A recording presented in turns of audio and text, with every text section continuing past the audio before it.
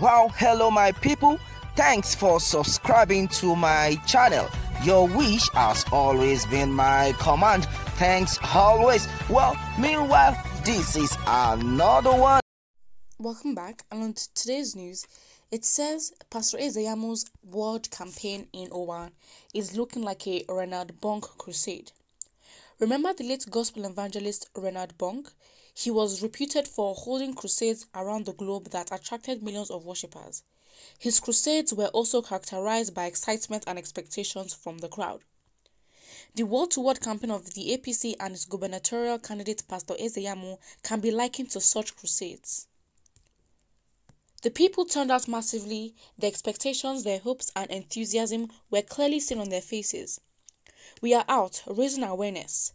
The response from the people is amazing. So many people that never dared to speak out and never wanted to say that they were for APC and Pastor Ize-Iyamu are coming out because they are sick and tired of the present retrogression we witness in the state. Julius Elman was a rally attendee and he said, We can't stay silent anymore. The APC is to hold word to word rallies in the in all the 192 wards of Edo State and obviously from the pictures you can see that a lot of there was it was a huge turnout. And everybody is really supporting. So it would actually be a very very tight election. They might win by just what how many percent? It would be like a really small margin. So everybody needs to go out to vote. One vote can change everything. Well let's see what the comments say. The first person says you are the next governor of edo state because you are highly accepted by the nook and cranny by the nook and cranny of the state.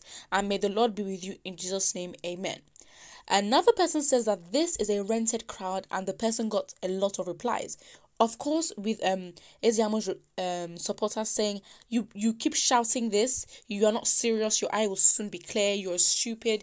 Obviously, you know there's an agenda, and a lot of people are going for who they think will be governor. So it will be really really tight when it comes to the um elections because you know one vote or two votes or three votes could be the could tip the scale, and either one of Obaseki or Ize-Iyamu would be governor?